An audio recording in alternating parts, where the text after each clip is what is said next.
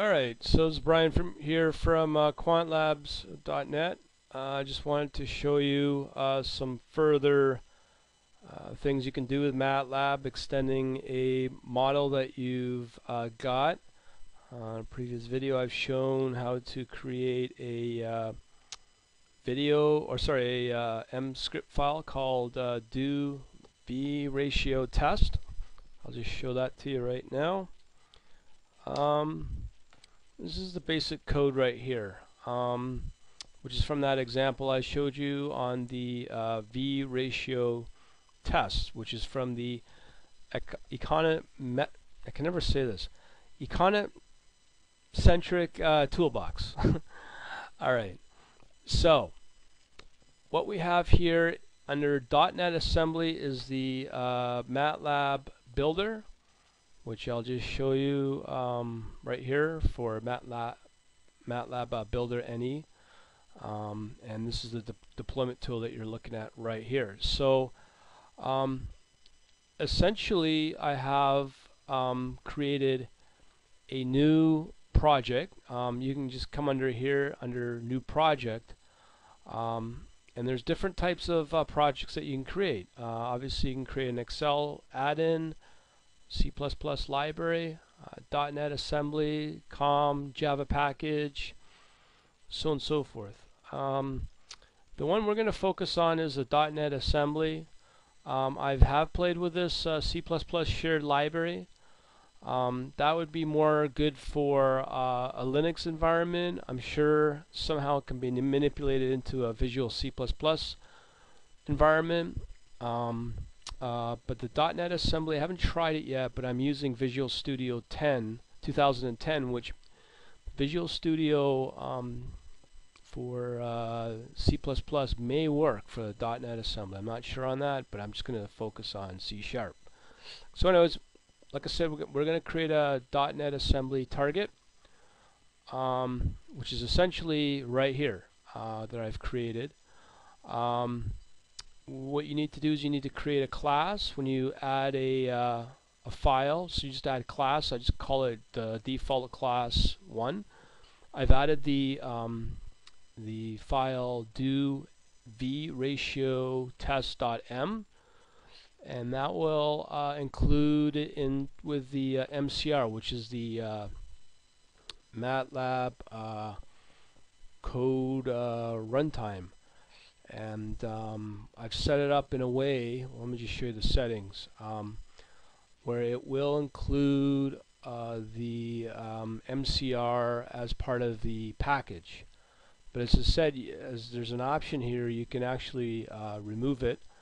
But going back to the settings um, we have your generic uh, SRS source uh, folder distrib folder all the toolboxes that are supported by this uh, uh, MATLAB Builder toolbox. So as I said, the one um, that we have here that supports the econometrics uh, toolbox. Um, all everything else is pretty pretty standard stuff.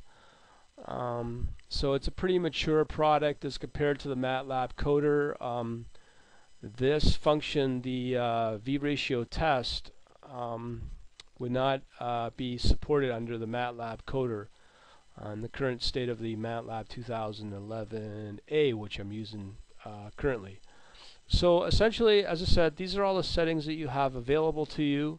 Um, you can package it up um, and uh, actually uh, you can set it up in a way where the package could be um, a self-extracting exe or just a plain uh, zip file. So that might be good for people uh, that would include the MCR uh, to for a target system that doesn't have MATLAB. So that's a kind of cool thing. It's royalty free as well. Um, okay, so if you come under here, uh, you do a build. Uh, that can take a little bit of time, but um, what it will build is it'll build all these files. So I'll show you a breakdown of that. Um, the uh, basically what you'll get is um, the uh, as I said the, the source files, um, your C sharp, and you get a native version as well. Uh, you get the DLL um, for each, uh, your just your regular assembly, and then your native, um, and a, a, README file, and so on and so forth. That's under the source, under the distrib. You get your DLLs. So uh, let's go back into or go into our uh, Visual Studio. So this is, as I said, this is the C sharp. This is a standard uh, Windows uh, console application. Um, and what I've done is I've added the references for that uh, DLL I just showed you. Um, the DLL being uh, this one, United for Assembly DLL. It's right here. Um, and uh, let me just show you that again. Uh, you can see that I've included both just in case.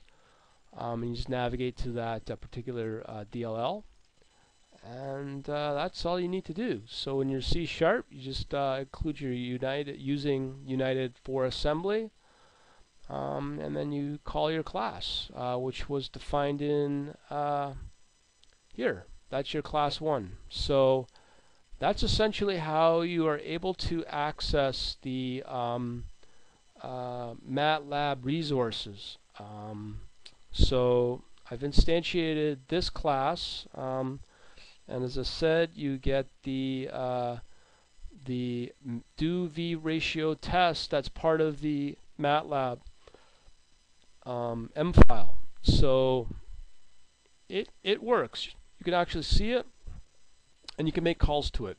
Now, um, this is good for uh, general applications with MATLAB.